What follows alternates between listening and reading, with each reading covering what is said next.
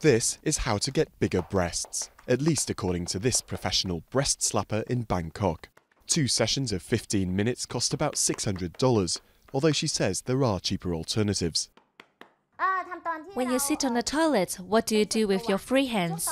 While you're doing your business, your hands can grab your breast like this. And when you brush your teeth, lift up your breast with your other hand. Whether it's catering to size, shape, or colour, Thailand's beauty industry is huge.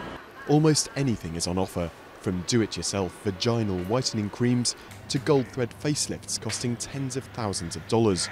This Polish surgeon claims pure gold under the skin stimulates rejuvenation, and Asian women are a prime market. People in Asia, they love gold. You know, they love gold. They want to have gold uh, outside and inside. That's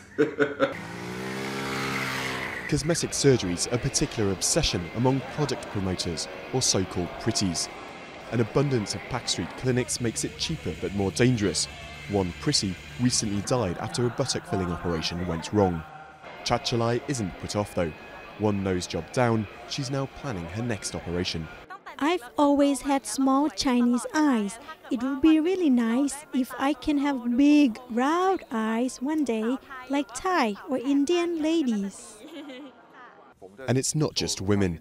Dr. Surat Kitty Superporn sees two to 300 men every month after backstreet penis enlargements go wrong, and the injections of silicone or olive oil cause no measurable difference.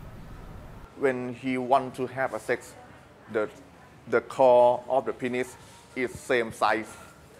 Kun Ying Tobnom meanwhile claims her efforts push her clientele up by at least one bra size and she also offers a premium service for those wanting a slimmer face for a mere $1,000 a session.